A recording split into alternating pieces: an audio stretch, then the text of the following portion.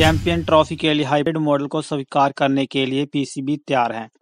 लेकिन इसके लिए पाकिस्तान ने आईसीसी के सामने एक शर्त रखी है। पाकिस्तान ने कहा कि अगर आईसीसी इवेंट में हाइब्रिड मॉडल की नीति अपनाई जाती है तो बोर्ड आगामी चैंपियन ट्रॉफी के लिए हाइब्रिड मॉडल को स्वीकार करने को तैयार है। खुफिया सूत्र के मुताबिक मौजूदा स्थिति यह है कि पीसीबी अध्यक्ष मोहसिन नकवी ने कहा है कि वह हाइब्रिड मॉडल पर चैंपियन ट्रॉफी की मेजबानी तभी स्वीकार करेगा जब बोर्ड इस बात पर सहमत हो कि भविष्य में सभी आईसीसी प्रतियोगिताएँ इसी प्रणाली पर होगी और पाकिस्तान भारत में मैच खेलने नहीं जाएगा।